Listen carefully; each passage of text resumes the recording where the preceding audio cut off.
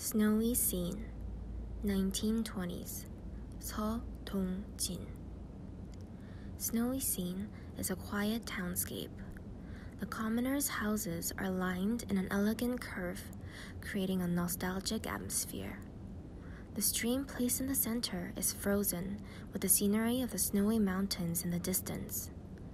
The woman in the middle is wearing a veil, and the two girls to her left seem to be her daughters. The quiet, tranquil atmosphere is contrasted by the skyrocketing telephone poles in the back, which imply the coming of modern civilization. The old tree on the right disappears in the direction of the headwater of the stream, giving a three dimensional effect. Seo's paintings are famous for their well balanced structure, unique choice of subjects, and sophisticated translation. Seo contributed significantly to the formation of Korean watercolor painting in the early 20th century while bridging it to the development of configurative painting in the 1950s in the context of Korean art history.